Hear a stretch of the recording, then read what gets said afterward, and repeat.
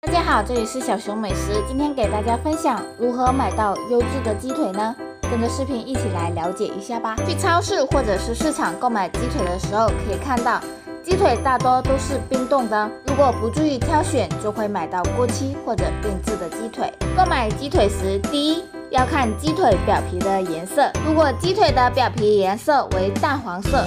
那这种鸡腿说明刚刚冰冻不久，比较新鲜，品质较好。如果鸡腿表皮呈深色或者到了棕色，那就说明保存了很长的时间，不建议购买。第二，用手摸一摸鸡腿的表皮，表皮松松垮垮，很有可能是打了防腐剂的鸡腿，而且放置冰冻的时间很长，这样的鸡腿不要购买。最好是购买表皮摸起来比较紧实的鸡腿。第三。看一下鸡腿表面的冰块，鸡腿经过冷冻，表面都会积累一层碎冰。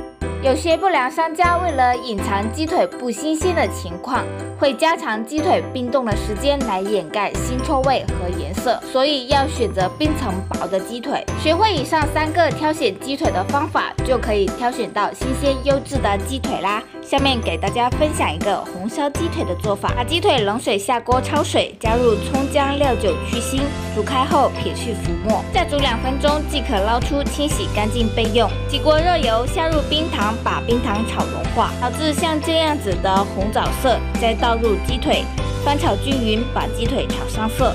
接着加入葱姜、干辣椒、香叶、桂皮、八角，翻炒出香味。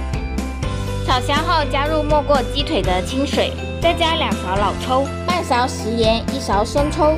搅拌均匀，盖上盖子，大火煮开后转中火煮十五分钟，时间差不多啦。这时候开大火收汁，收至浓稠即可出锅装盘，鲜香入味的红烧鸡腿就完成啦。想吃的朋友赶紧动手试一试吧。